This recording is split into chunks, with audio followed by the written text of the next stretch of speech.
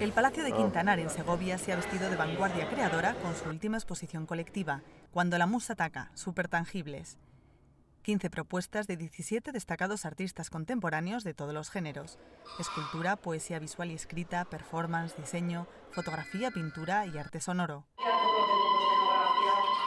Una muestra rompedora y valiente, según palabras de la consejera de Cultura y Turismo, quien ha señalado en la inauguración de la exposición que el objetivo es indagar en el proceso creativo de los artistas.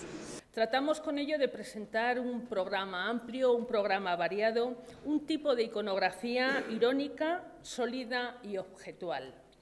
Y en algunos casos eh, se remitirá a experiencias de lectura, de grafismo y de escucha de la realidad que estos artistas hacen con su voz, con sus sonidos o con objetos encontrados en escenarios secretos a través de su imaginación creadora.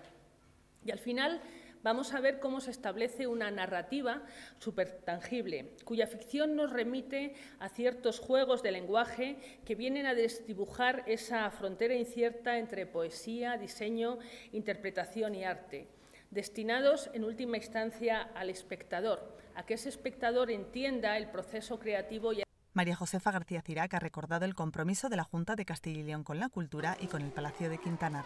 El compromiso de la Junta con este centro, el Palacio de Quintanar, magníficamente coordinado y dirigido por Gianni, es total.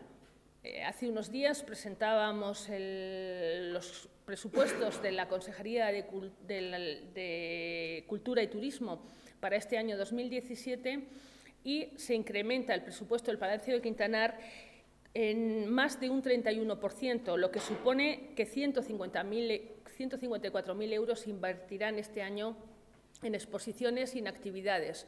El programa se complementa con acciones en vivo de algunos de los artistas durante los fines de semana de junio. La exposición en el Palacio Quintanar estará abierta al público hasta el 24 de septiembre.